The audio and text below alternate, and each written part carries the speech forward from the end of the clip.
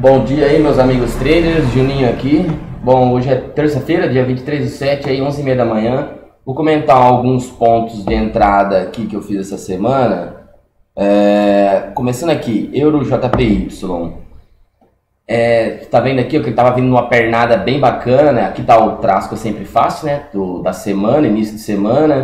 Então você vê que ele abriu num, num leve gapzinho aqui, ó. Tá? Nas primeiras horas, operar é meio de foda porque o spread está muito alto né, nas primeiras horas do, da, da, abertura. Aí. Então é bom aguardar um pouco. Eu coloquei a zona neutra aqui agora, porque nesse momento ela está aqui, né? Que nosso canal de referência é esse, ele está rompendo aqui agora, né? Então a zona neutra é aqui, stop, respeitando a zona neutra, né? Mas o momento da entrada foi aqui, ó.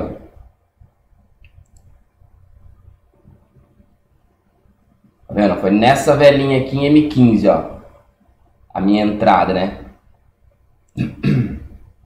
Que basicamente apostando no rompimento desse fundo, né? Você viu que ele testou, testou, subiu lá.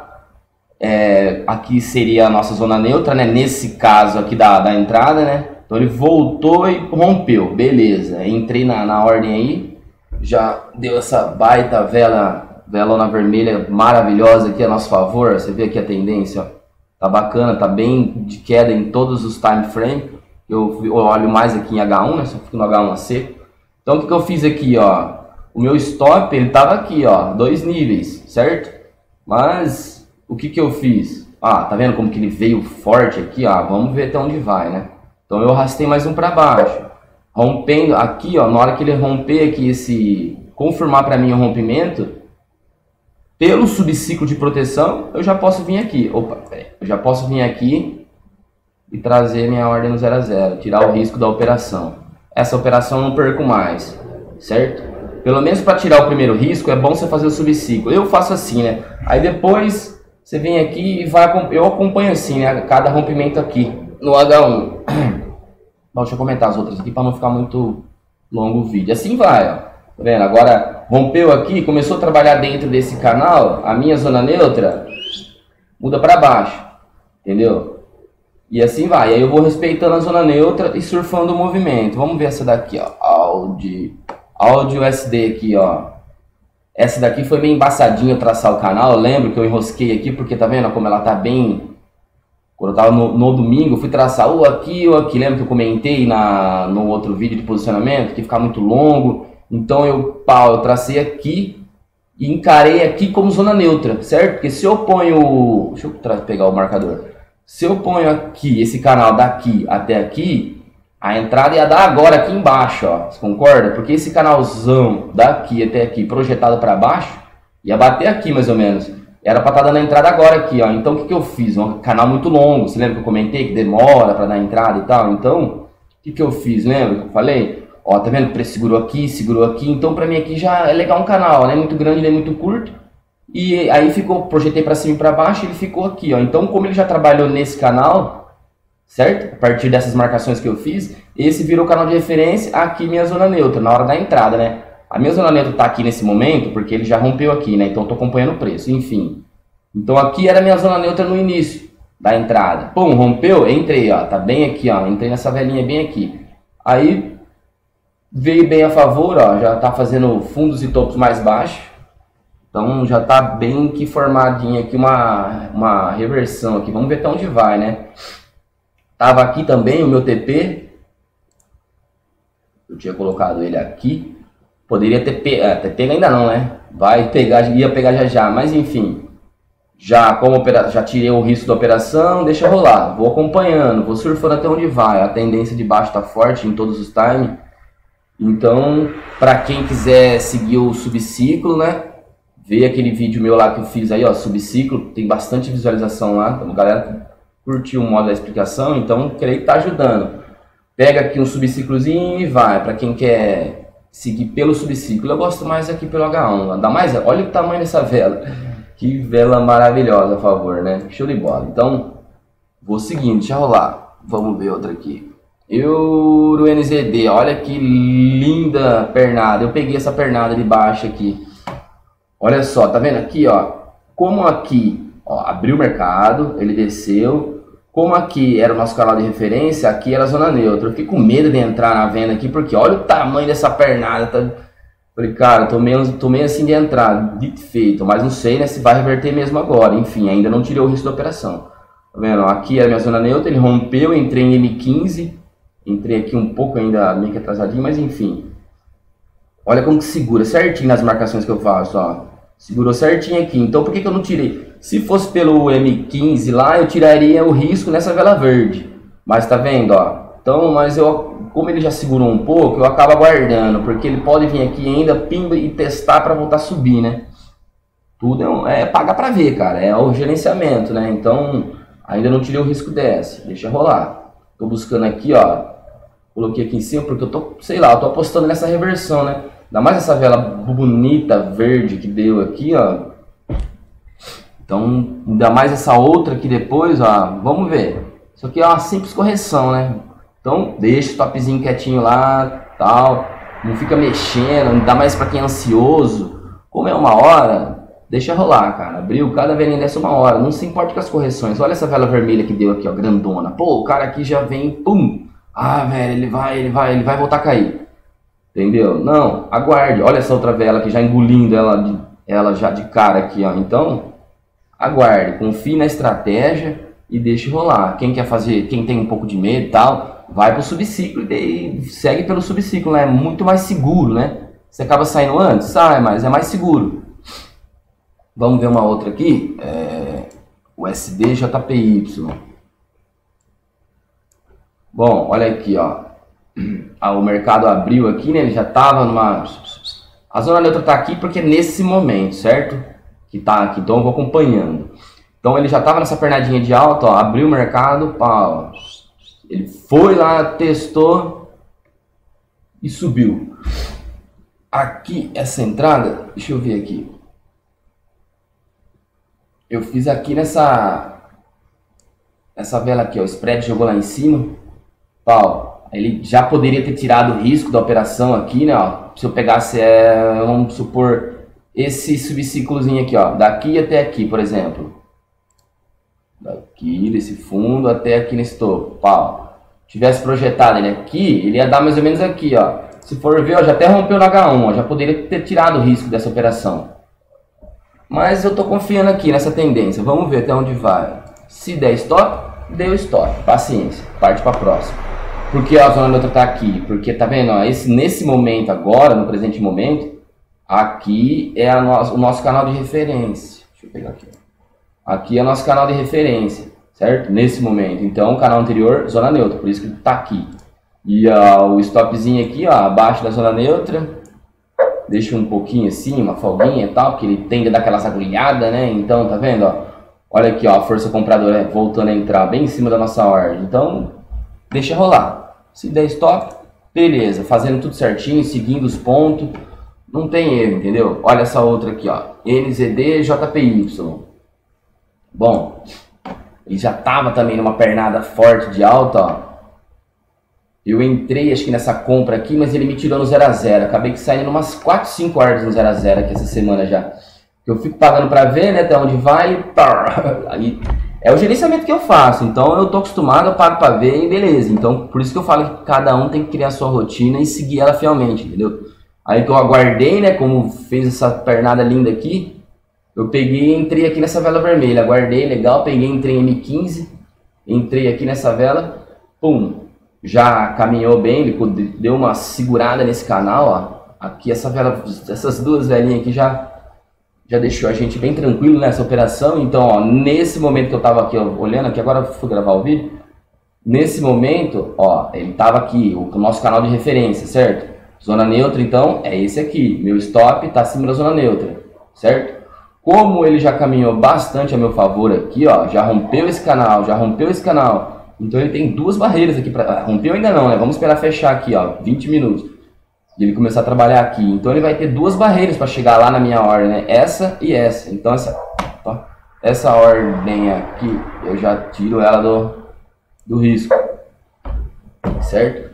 Para quem quer fazer o subciclo, é aquilo que eu faço. Vai lá em M15, ó, tá vendo, ó? pega um subciclozinho aqui e vai. Eu acho que dá, dá, mais, um, dá um pouquinho mais de trabalho né, pra você ficar fazendo, mas é mais seguro, com certeza. E fica a critério, né? Se você colocar isso no, na sua rotina de trade aí ou não. Vamos ver, acho que. Vamos para outra aqui. É, seguindo, ó. Dois níveis, ele tava aqui, ó, o meu TP. Como ele veio lindo aí, ó, essas velas bonitas, eu pum, tirei o risco. Vamos surfar, vamos ver até onde vai. Euro dólar. Eurodólar eu perdi o time aqui, enroscou demais aqui, eu não, não confiei muito na entrada. Aí depois acabou passando aqui, acabei entrando no segundo ponto. A zona neutra tá aqui porque ele tá nesse canal, certo? Então vamos lá. Ele veio dessa queda, seria a entrada ideal aqui, ó. Deixa eu pegar o marcador. A entrada ideal seria aqui nessa vela, ó. A entrada ideal da semana, né? Que eu falo para buscar o movimento semanal e tal. A entrada ideal seria aqui, ó. Já estaria com uns 300 em ponto aí. Mas beleza, peguei o segundo ponto. Se for pelo segundo ponto da entrada, confiando na queda, ó. Os times frame estão tudo vermelho lá. Então, se eu fosse pelo subciclo aqui, ó, já daria para ter tirado o risco da operação,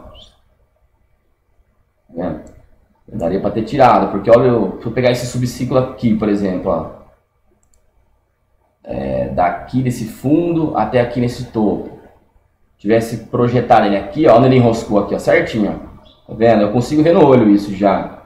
Então, já poderia ter tirado. Eu tô confiando nessa queda, tá forte a tendência, mas nada impede, tá vendo? Você pode vir aqui, a primeira, tirou o risco dessa operação, bora para próxima. Olha que, que pernada linda. Vamos ver se tem mais um aqui. NZB USD. Bom, também, ó, pernada forte de alta, ó, abriu o mercado, ele bateu lá em cima. Você lembra que eu falo para você entrar ou não no, no subciclo? Esse daqui eu entrei aqui, só que eu, tirei rápido o risco por causa disso mesmo. por causa do medo dele pipocar ali, bater ali e pipocar para baixo, né? Por isso que eu falo, entrada mais segura, espera romper o topo, lembra eu comentei? Então, quando eu vejo assim essas situações, eu já venho e tiro rápido o risco da operação. Dito feito, me tirou aqui no 0 a 0 aquele lucro mínimo, né?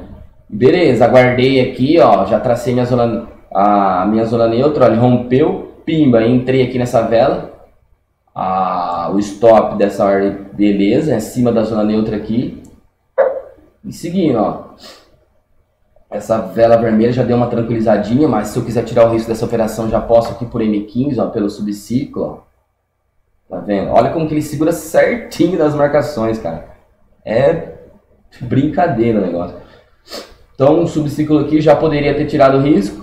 É que você tá vendo como que ele segurou aqui? Opa, pera aí. Esse mouse sem fio. Como ele segurou aqui? Ele pode vir segurar aqui, fazer mais uma, uma perninha para cima aqui testar ali para voltar a cair. Então, isso acontece. Então, é por isso que você tem que criar sua rotina e fazer sempre a mesma coisa, né? que eu digo aí, ó. E, e bora pro surf, ó. O stop também, meu stop gain, né? Que tava aqui, o TP. Como eu vi essa velona bonita, vermelha descendo, aí eu já estiquei um pouco. Vamos seguir, vamos ver até onde vai. NZDK, essa aqui eu entrei há pouco tempo aí. Que também, ó. Já nem... Quando tá muito esticado assim o mercado, eu acabo ficando pé atrás, eu acabo aguardando uma reversão, então fica como dica. Ah, Entendeu? Você vê que ele rompeu bonito, ó. Rompeu aqui, deu uma compra aqui, ó. Mas deu pra você sair no 0 a 0 aqui. Se não me engano, eu fiz. Acho que eu entrei nela. Porque eu, eu, até agora foi 5 ordens que me tirou no 0 a 0 Não sei se essa aqui também tá, mas acho que sim. Porque eu adoro esses rompimentos de topo. Mas, você dá uma olhadinha, dá uma diminuída aí no tempo gráfico, você vê, olha que como ele já tá bem esticado. Então, fica a critério, né, do cara entrar ou não, se sentir seguro, é o que eu digo, cara, você tem que se sentir seguro aí e fazer as operações para você. Aguarde a paciência também, a sua amiga tem que ter paciência, cara, não tem boca. Então aqui, olha que bacana. Aqui seria o nosso canal de referência e aqui o, a zona neutra, certo? O que acontece? Essa velona linda aqui, ó, rompeu, pimba, já entrei na venda. Tá vendo? Agora aqui, primeiro stop, acima da zona neutra, que é a nossa zona neutra está aqui, uma zona neutra, stopzinho acima dela. Bacana, buscando dois níveis, tá vendo? Vamos ver. Tá, tá mostrando que tá em queda aqui ainda, ó. Tá mais, tá mais em queda do que tendência de alta. Vamos ver se essa reversão ele corrige pelo menos metade dela aqui, é 50% de FIBA aqui. E quem quiser ir lá pro M15, aquele mesmo esquema, vai fazendo o gerenciamento pelo subciclo. É, acho que tem mais, acho que tem mais essa aqui, ó. Essa aqui eu entrei, ó, tá vendo aqui? Essa aqui ainda tá no negativo, ela retornou Acabei entrando nessa vela aqui, ó, o, numa 50% seguindo tendência, né? Mas ele corrigiu até nos 5 últimos minutinhos. Por isso que eu falo, tem que aguardar, cara. Aguardar o fechamento da vela, né? Pra, te, pra essa é sua confirmação. Você acaba adiantando, a vela volta. Então fica como dica aí, entendeu? Mas vamos ver, ó. Tá na tendência bacana de queda ainda. Vamos ver se ainda continua esse movimento. Mas se der stop, beleza, parte para a próxima, tá dentro do gerenciamento, né? Stop é esse aqui é o canal de referência nesse momento e esse aqui é a nossa zona neutra. O stop tá lá, respeitando a zona neutra. Show de bola. Deixa rolar, não precisa ficar com medo. Se ele subir até aqui, testar e voltar, já aconteceu várias vezes. Ele testar na neutra certinho, por isso que dá aquela agulhadinha e volta. Por isso que é bom deixar o stop um pouquinho acima aí. Bom, as entradas aí estão rolando, é mais ou menos essas daí, pessoal, e tá dando mais ou menos aí 3, 4, 5, 6, 7, 8, 9, 900 pontos mais ou menos. E o que eu queria comentar é essa. Acho que era só isso daí mesmo. E para o vídeo não ficar muito longo, e a respeito de lote, acho que foi uma dúvida, tá, tá tentando lembrar alguma dúvida que o rapaz perguntou. Essa conta aqui é mais para teste, por isso que eu abro esse mão de ordem que vocês viram. E eu vou seguir, eu vou fazer uns testes nela, então eu, eu, eu não comento sobre aqui porque eu acho que eu já fiz aquele vídeo do gerenciamento, né? Cada um faz seu gerenciamento de acordo com a sua realidade aí, com o que você tem na conta.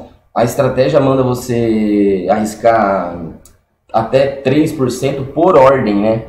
Então, aqui eu faço com 0.01 para a galera não ficar focada nisso, né? Ficar focada em valores, aqui acaba nem prestando atenção em, em na, na estratégia em si. Então, a mesma, a mesma operação aqui que você faz com 0.01 e, e ganha 500 pontos, você vai fazer com lote de 10 aqui. A mesma operação, mesmo, mesma mecânica. Então por isso que eu foco nisso, né?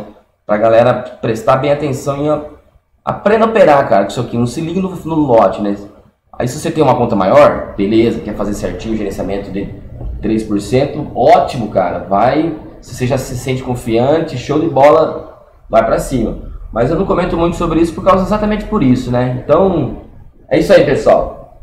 Eu vou, vou deixar o link da corretora aí, da FX Primos, e também meu gerente de conta falou que tem agora lá uma promoção de 100% de, de depósito, de você depositando de 500 dólares a 10k, né? Você depositou o valor 500 dólares, por exemplo, aí a corretora te coloca mais 500.